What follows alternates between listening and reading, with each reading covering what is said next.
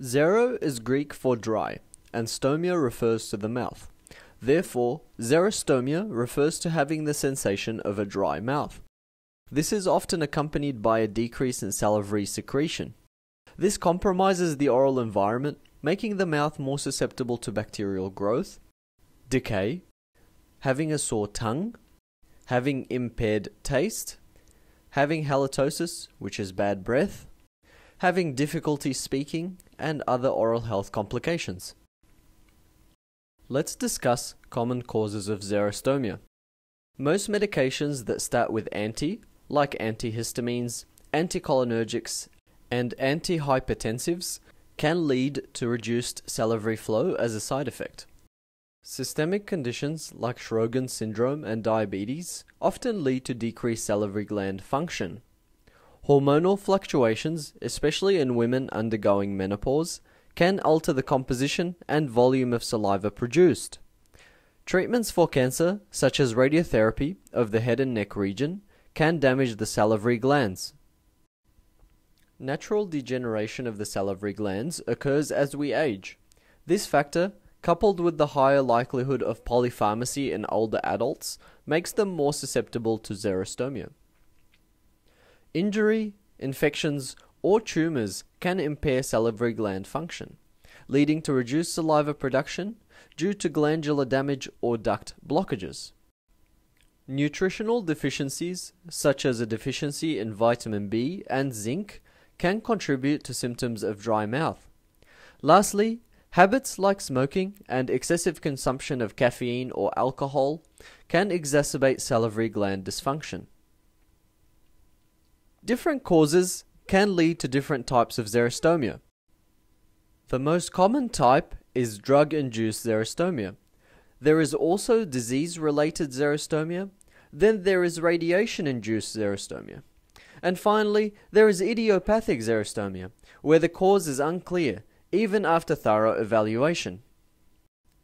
Diagnosing xerostomia begins with assessing the patient's medical history to screen for medications or underlying conditions that cause dry mouth. Oral inspection can also reveal signs of dryness, such as sticky oral mucosa, fissured tongue, or rampant cavities that are not typical for the patient.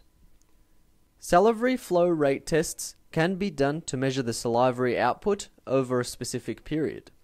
A low flow rate can confirm the diagnosis. Additional tests like sialometry or sialography can also be done to measure salivary gland function and visualize the salivary ducts. In cases where systemic diseases are suspected, blood tests may be performed to identify markers for systemic conditions. In rare cases, a minor salivary gland biopsy may be considered. A combination of these methods, tailored to the individual patient's needs, usually provides a definitive diagnosis. Management of xerostomia is multifaceted and may vary based on the underlying cause.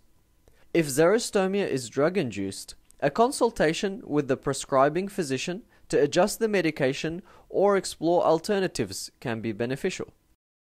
Products such as oral sprays, gels, and lozenges containing enzymes that mimic natural saliva can be used.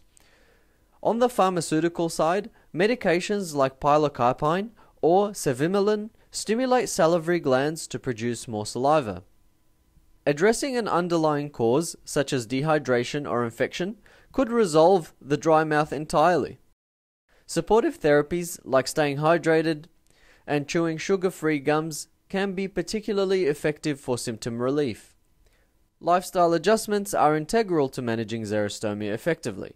Quitting smoking, reducing alcohol, and reducing caffeine intake, as well as adopting a balanced diet, can alleviate symptoms.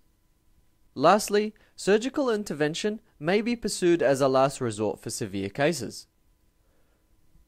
To summarize, xerostomia, or the sensation of dry mouth, results from reduced salivary production.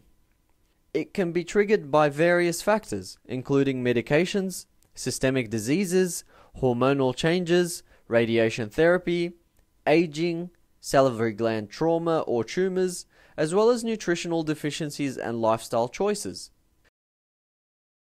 Diagnosis often starts with a medical history, followed by an oral examination, sometimes requiring special tests for severe cases, such as salivary flow rate tests, sialometry, sialography, biopsy, and blood tests. Treatment is multifaceted, involving medication adjustments, salivary substitutes, and sometimes surgical procedures. Supportive measures like hydration and lifestyle changes are also key to managing symptoms effectively. The most important thing is to address the underlying cause.